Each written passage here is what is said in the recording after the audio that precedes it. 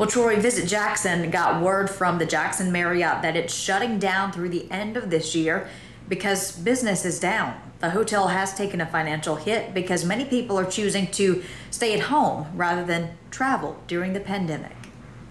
An unfortunate turn for the local tourism industry amid the pandemic. The Jackson Downtown Convention Center Hotel, also known as the Marriott, is temporarily shutting down, at least for the rest of this year. We received an email last Friday um, from the hotel, the management company, stating that the, effective immediately they would be closing.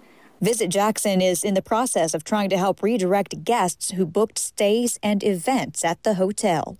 They've stated that they're going to close for the remainder of this calendar year. They reached out to all of their guests with reservations. We've been in contact with all of our meeting planners who have events and reservations there, and we're in the process of putting them at other Jackson properties. According to the American Hotel and Lodging Association, more than 33,000 people were directly employed by hotels in Mississippi before the pandemic. As of September, nearly 13,000 of those jobs have been lost due to furloughs and layoffs caused by COVID 19. Local tourism leaders say the Marriott's temporary closure is another big blow to the industry due to people simply not traveling during the pandemic.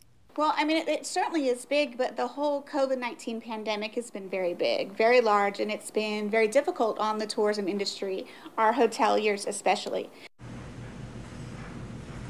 Well, the Wall Street Journal reports Marriott International suffered a second quarter loss this year of $234 million. Now, if you go to the Jackson Marriott's website to try and book a room, instead it suggests other nearby hotel properties. Troy?